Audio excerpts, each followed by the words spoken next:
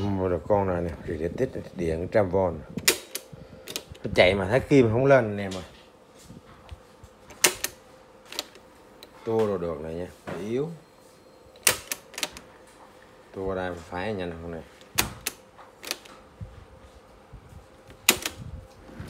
sống thôi nè mày, kim thấy chưa lên nha. Đó, gọi ra, gọi vô